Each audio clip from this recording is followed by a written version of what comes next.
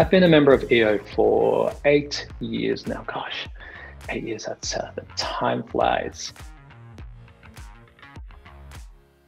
The fact that we're leaders of our families, of our businesses, of our communities means that we're in a highly visible position.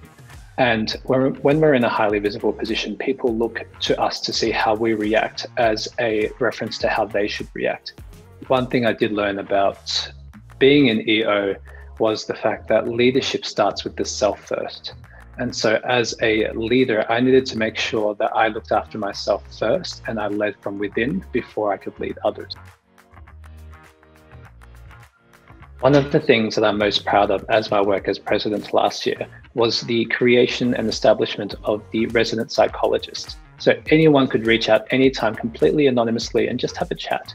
Even if it helps just one single person, it's worth it. I sat down in front of the forum 12 months ago, and as I sought to express how I felt about my forum, I landed on these words. I feel keenly how your lives have changed the arc of my own. And I mean that phrase in every sense of the word. Their lives have changed mine merely because they exist.